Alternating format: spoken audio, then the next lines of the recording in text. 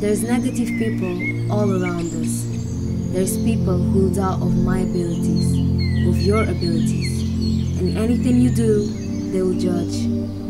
They will tell you that you can't do it just because they think they can't. But we also have two choices. Let it get to us or let it go. So, what if you didn't let any negativity affect you? This documentary will teach you a very simple way of balancing your mind and feelings. A simple way of being awake.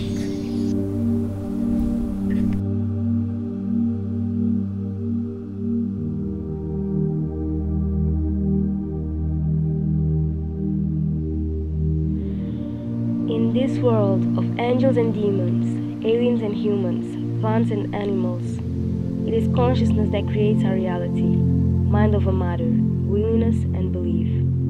There are people who can do things that involve the use of something that science has yet to fully understand, and that is the mind, not the brain, but the mind. Did you know that when someone dies, the body instantly loses mass?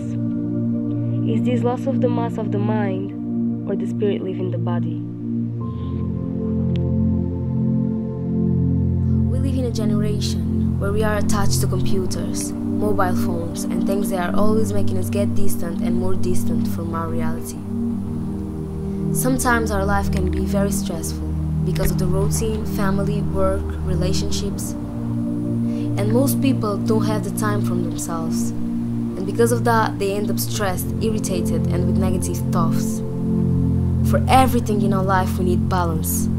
And sometimes we need to have time for our family, partner, and friends, but also to relax our body and mind so that when we get into the routine again, we already have the energy charge that will prevent negative feelings.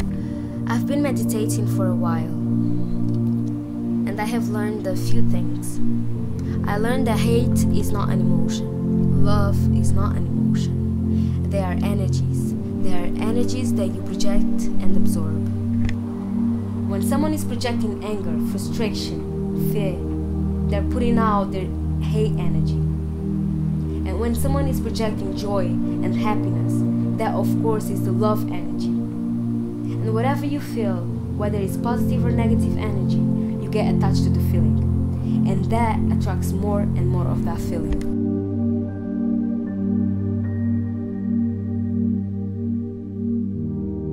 First, I find a comfortable position where make sure that my back is straight. Make sure that if I'm lying down on the bed, I'm in a comfortable position with my back straight. Or if I'm sat up, my back straight, so I'm not humping over like that.